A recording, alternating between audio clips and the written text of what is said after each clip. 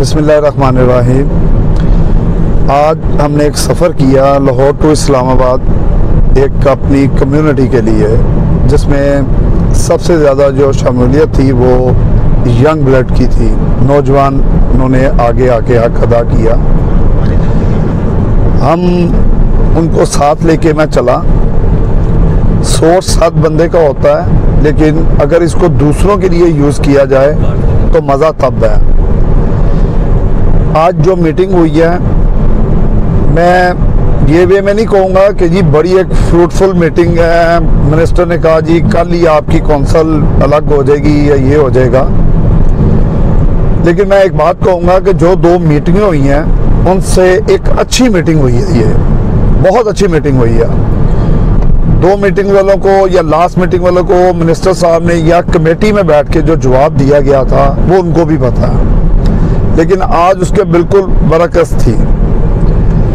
आज उन्होंने ऑन किया है कि आप पूरी फ़ाइल लेके आए। मुझे दें, मैं उसको अपने लॉ डिवीज़न से डिस्कस करता हूँ कि पिछली प्रीवियस कैबिनेट ने अगर इसको अप्रूव किया हुआ है तो हमें इसमें कोई मजायका नहीं है बनाने में। और अगर उन्होंने वो कैबिनेट डिवीज़न के बाद उसकी अप्रूवल सारों ने दी हुई है, उसके ऊपर सिग्नेचर हुए हुए हैं तो मैं हंड्रेड परसेंट उसको ऑन करूँगा। इन सारी चीज़ों के अलावा जो एक मेन मकसद ये है, ये किसी की ज़ात के लिए कौंसल नहीं बन रही। ना किसी एक फर्द वाहिद के लिए बन रही है, ना किसी एक ग्रुप के लिए बन रही है।